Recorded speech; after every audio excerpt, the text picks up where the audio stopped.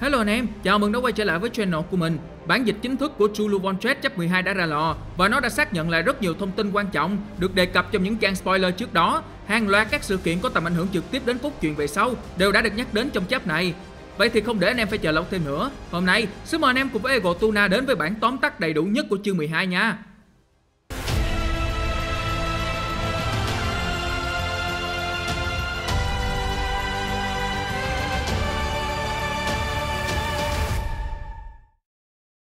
Trở về Konoha sau khi giải cứu em gái của mình thoát chết, Boruto đã kịp thời đỡ thay cho người bạn thân một nhát dao chí mạng và chính thức đứng ra đối đầu với thập vĩ Hidari. Sự xuất hiện đầy bất ngờ của cậu ta không chỉ khiến cho kẻ thù mà cả những người đồng đội cũ tại Konoha cũng vô cùng ngạc nhiên. Vì biết cuộc chiến này sẽ không dễ dàng, vậy nên trước khi bắt đầu trận chiến, Boruto đã quyết định nhờ Konohamaru bảo vệ em gái Himawari. Cậu gọi người từng dẫn dắt của mình một tiếng thầy, thay vì gọi là anh như trước đây. Điều này đã cho thấy rằng Boruto vẫn dành một sự tôn trọng nhất định tới giáo viên của đội 7 Tiếc rằng cậu vẫn chưa kịp giao em gái của mình cho Konohamaru Thì Hidari đã mất hết kiên nhẫn Hắn ta lạnh lùng vung cánh tay đã biến đổi của mình lên Nhắm thẳng vào cổ của Boruto mà chém Nhưng Boruto cũng đâu phải dạng vừa Cậu lập tức dùng tay phải rút kiếm đỡ đòn Còn tay trái thì đang nắm lấy bao kiếm Lập tức niệm ấn có thể nói sau Babasuke và Naruto, Boruto là một trong những nhẫn giả hiếm hoi có thể niệm ấn bằng một tay với tốc độ nhanh đến như vậy. Một cú phong độn đột phá với uy lực cực kỳ khủng khiếp được tung ra, nó đẩy văng Hidari ra đủ xa để Boruto có thể giữ an toàn cho bản thân và em gái của mình. Mất đà tấn công, Hidari bắt buộc phải trốn ngược vào trong ấn hắc cước, tìm cách để phản công Boruto sau. Tranh thủ cơ hội, Konohamaru lập tức chạy tới ôm lấy Himawari, rồi đưa cô bé về tuyến sau để tránh việc bị cuốn vào trận chiến của Boruto. Cùng lúc đó, Kawaki và Delta đã tới được địa điểm mà đội 10 phát ra tín hiệu cầu cứu, nhưng do bay hơi chậm nên là chẳng còn bất kỳ một ai ngoại trừ Yura. Kawaki cảm nhận được việc Boruto vừa dùng thuật dịch chuyển để tới nơi và rời đi trong tích tắc. Nhưng rồi, Kawaki không hề vội vã đuổi theo Boruto mà cậu ta ngay lập tức liên lạc về với đội cảm nhận để xác nhận tình hình của Himawari và những đứa nhóc trong đội 10 trước. Sau khi biết được nhóm của Shikadai đã trở về làng an toàn, còn Himawari thì đang được Sarada và Konohamaru bảo vệ thì cậu ta mới quyết định đổi mục tiêu. Đội cảm nhận cũng thông báo cho Kawaki về việc Boruto đang có mặt tại Konoha. Nhưng việc Yura đứng yên một chỗ khiến cho Kawaki cảm thấy vô cùng khó hiểu. Cậu ta quyết định nán lại một nhịp để quan sát Yura trước rồi sau đó mới trở về sau. Quay trở lại với cuộc chiến tại làng lá, Konohamaru sau khi đón lấy Himawari thì lập tức quay ra khó chịu với Boruto. Anh cho rằng tội phạm nguy hiểm như cậu không được phép ra vào làng một cách tự do như thế. Thấy tình hình đang dần trở nên căng thẳng, Sarada vội vàng lên tiếng để hòa giải và có thể xoa dịu bầu không khí. Dù sao thì Boruto cũng vừa mới cứu Sarada thoát chết, nên Konohamaru đành phải chấp nhận nhún nhường một chút. Trước mắt thì cả hai đang có một kẻ thù chung chính là Hidari. Việc bắt tay hợp tác với nhau trong hoàn cảnh này sẽ đem lại nhiều lợi thế hơn, nhất là đối với Konoha. Hiểu được điều này, Konohamaru quyết định cung cấp những thông tin về Hidari cho Boruto để cậu có thể chiếm được thế thượng phong khi chiến đấu với hắn ta. Boruto cảm thấy nhẹ nhõm vì người thầy cũ cuối cùng cũng đã chịu hợp tác với mình. Ngoài Boruto và mọi người, tại đó vẫn còn một shinobi sống sót sau màn đồ sát của Hidari ở chấp trước. Anh ta là một nhẫn giả thuộc đội cảm nhận. Biết được điều đó nên Boruto liền quay sang nhờ anh ta tập trung vào những dấu ấn hắc cước trên mặt đất. Vì Hidari có thể xuất hiện lại thông qua ấn hắc cước bất kỳ lúc nào hắn ta muốn. Sumire cũng nhắc Boruto về mục tiêu thực sự của Hidari hắn sẽ bỏ qua tất cả mọi người để có thể tấn công Sarada bằng mọi giá. Sarada cũng nhấn mạnh rằng Hidari đang muốn ăn thịt cô và bằng một cách nào đó thì hắn ta có thể sử dụng được toàn bộ những chiêu thức độc quyền của Babasuke. Tất nhiên những điều này thì Boruto là người hiểu rõ nhất. Cậu giải thích với mọi người về nguồn gốc của Hidari, hắn được sinh ra là nhờ chính Chakra ra của Babasuke. Đồng thời, Boruto cũng quay sang chấn an Sarada, người đang rất lo lắng lúc này, rằng cậu sẽ chiến đấu chống lại Hidari bằng mọi giá. Việc này không chỉ để bảo vệ Sarada, mà còn vì cậu muốn giải thoát cho cả Babasuke. Konohamaru ngồi nghe nãy giờ thì chẳng hiểu gì cả. Anh ta chỉ biết rằng có vẻ như Babasuke đang rơi vào trạng thái giống như là Moegi, nên rất muốn nói rõ ràng mọi chuyện. Cơ mà Boruto liền quay sang nhắc ông thầy của mình rằng nên tập trung vào trận chiến thay vì phân tâm đến những chuyện khác. Bởi vì chỉ cần lơ là một khắc là đủ giết chết Konohamaru bất cứ lúc nào. Bỗng thanh niên Shinobi cảm nhận hét lên. Anh ta nói rằng dấu hiệu chakra ra đang xuất hiện ở trong hướng hắc cước trên mặt đất, nhưng không phải là một mà có rất nhiều nguồn chakra ra từ khắp mọi nơi. Bỗng một bầy chảo cấu đông đúc lần lượt ngoi lên. Tuy nhiên trong đó lại không hề có Hidari. Vì kẻ địch quá đông nên Boruto quyết định sẽ tập trung chém tất cả những đứa nào chạy về hướng của Sarada Vì đó là cách tốt nhất để giữ an toàn cho cô bé. Cuộc chiến lại tiếp tục. Với kiếm thuật xuất sắc của mình Boruto nhanh chóng tiễn một lượng lớn chảo cấu đi về miền cực lạc. Tuy nhiên cậu vẫn để một vài con thoát khỏi cuộc cầu sát đó. Chúng nhanh chóng lao tới tiếp cận Sarada. Công chúa nhà Uchiha liền tung cước để trả đòn nhưng rồi, bỗng một bàn tay xuất hiện thông qua ấn hắc cước trên người con chảo cấu. Nó nắm chặt lấy chân của Sarada, không cho cô bé di chuyển. Sarada giật mình nhận ra đó chính là Hidari thì đã quá muộn. Hắn ta lập tức biến cánh tay của mình thành cái cây nhằm hấp thụ Sarada ngay tức khắc. Bỗng có một Shuriken của Boruto bay tới, găm thẳng vào cổ con chảo cấu mà Hidari đang dùng để xuất hiện. Tiếp theo, cậu dùng phi lôi thần thuật lập tức dịch chuyển, rồi sau đó giáng thẳng một đòn Rasengan vào lưng của Hidari.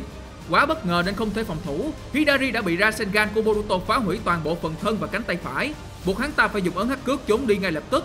Hidari trở về căn cứ của nhóm tứ quái, hắn ngồi trên khối lập phương của Yura và những cái rễ cây ở đây liền vươn dài ra và giúp hắn ta chữa lành. Vết thương chí mạng mà Boruto vừa gây ra lập tức được hồi phục như chưa từng có chuyện gì xảy ra. Hóa ra những cái rễ cây ở đây không phải được được tác giả vẽ cho vui, mà chúng thực sự có vai trò riêng của mình. Có vẻ như chúng chính là nguồn cung cấp giác ra, thậm chí là các tế bào thập phỉ để cho những tên thủ lĩnh cấp cao có thể chữa trị sau mỗi lần bị thương. Nếu nhìn sơ qua thì nó chẳng khác nào ngoại đạo ma tượng của Marara trước đây cả anh em. Sau khi hồi phục được một phần cơ thể đã bị mất, Hidari liền ngay lập tức trở lại chiến trường thêm một lần nữa. Hắn ta kích hoạt Rinnegan của mình, nó tạo ra vô số những ấn hắc cước bao quanh Boruto và Sarada. Sau đó, hắn ta lại tiếp tục ẩn mình và rình cơ hội để cắn trộn. Sarada đưa ra một kế hoạch là Boruto bay lên trên không để quan sát chiến trường được tốt hơn. Trong khi đó, cô bé sẽ lại trên mặt đất để làm mồi nhữ. Chỉ cần Hidari xuất hiện, Sarada sẽ cố gắng hết sức để cầm chân hắn ta, để cho Boruto tranh thủ cơ hội dán một đòn Rasengan nữa nhằm kết liễu kẻ thù. Nhưng rồi Boruto gạt phăng cái kế hoạch đó sang một bên. Cậu thông báo rằng sẽ dùng đến Uzuhiko toàn lực để kết liễu Hidari một lần và mãi mãi. Để làm được điều đó, cậu cần phải giữ hai chân của mình trên mặt đất. Đồng thời, Boruto cũng sẽ bất động một lúc để có thể tập trung lượng chakra của hành tinh, rồi kết hợp nó với chakra của chính mình. Nhược điểm chí mạng này sẽ khiến cho Boruto không thể nào tự do tránh đòn của Hidari được nữa. Chỉ cần một sai sót nhỏ thì chắc chắn cậu sẽ bị hắn ta giết chết. Nhưng ngược lại, chỉ cần Boruto đánh trúng thì Hidari cũng sẽ tiêu đời mà thôi. Vì Boruto khẳng định rằng sức mạnh của Uzuhiko là không có giới hạn. Nhiệm vụ của Sarada bây giờ chính là câu giờ càng lâu càng tốt. Nhưng vừa dứt lời thì Hidari là lập tức quay lại chiến trường. Hắn ta tính dùng Chidori để đánh lén Boruto, nhưng may là Konohamaru đã kịp thời lao tới dùng Rasengan chướng bích chặn hắn ta lại.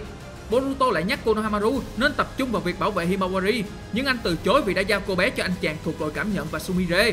Bây giờ, Konohamaru và Sarada sẽ đảm nhận nhiệm vụ phối hợp phòng thủ để câu giờ cho Boruto chuẩn bị cho những thuật của mình. Bỗng Hidari đổi chiến thuật, hắn ta không tấn công Boruto nữa mà quay sang Sarada.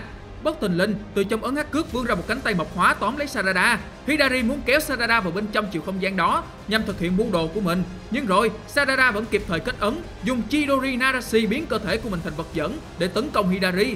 Quá bất ngờ vì đòn này, Hidari nhanh chóng rơi vào tê liệt. Sarada tranh thủ cơ hội kéo ngược Hidari ra khỏi ấn hắc cước rồi ném hắn ta về phía của Boruto. Vì mọi thứ quá gấp gáp, Boruto vẫn chưa chuẩn bị xong Uzuhiko, nhưng cậu vẫn quyết định tung nó về phía của Hidari. Một trận cuồng phong khổng lồ xuất hiện nuốt chửng lấy cơ thể của gã thập vĩ tiến hóa kia. Những cơn gió sắc như những lưỡi dao nhanh chóng xé xác Hidari thành nhiều mảnh. Nhưng vì không phải là đòn toàn lực 100% nên Uzuhiko vẫn không thể nào kết liễu hoàn toàn Hidari, nó chỉ khiến cho hắn ta rơi vào nguy kịch mà thôi. Hidari còn lại một nửa thân trên và rơi thẳng xuống mặt đất. Nhưng ngay lúc này, dưới mặt đất thì có rất nhiều ấn hắc cước. Boruto lo lắng lao tới, muốn bồi thêm một đòn nữa để tiêu diệt Hidari. Bằng không, hắn ta sẽ dịch chuyển về căn cứ và tiếp tục hồi phục. Nhưng Boruto đã cản sức mạnh, cậu không thể nào nhanh hơn được nữa.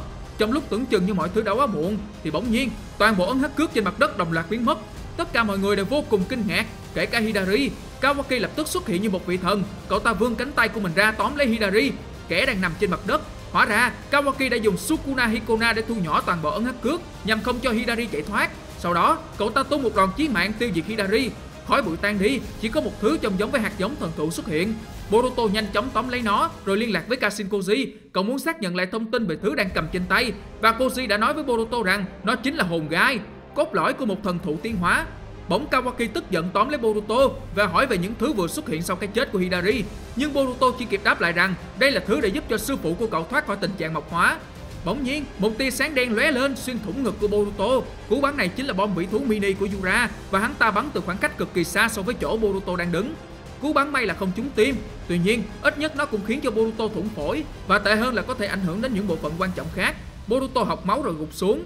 Sarada thấy thế liền chạy tới đỡ thằng bạn của mình, nhưng rồi cô bé nhớ lại những gì Boruto vừa nói, cô lại vội vàng quay sang thu hồi hạt giống hồn gai và rồi thêm một phát đạn nữa của Yura nhắm thẳng vào tay của Sarada, khiến cho cô bé khựng lại vì đau đớn. Vậy là lại thêm một chiến thần nữa mất khả năng kết ấn. Sau đó, phần linh hồn của Hidari bay lên và hướng thẳng tới chỗ của Yura. Yura tỏ ra vô cùng khó chịu vì những gì mà Boruto đã làm, đặc biệt là về hồn gai. Hắn quyết định sẽ ăn thịt Kawaki ngay lập tức để tiến hóa. Sau đó, hắn ta sẽ tiêu diệt Boruto. Chập bấy đến đây là hết rồi. Nếu thấy hay, đừng quên like, share và đăng ký kênh ủng hộ cho Tuấn Tuna Shop và Ego Tuna. Xin chào và hẹn gặp lại vào video tiếp theo.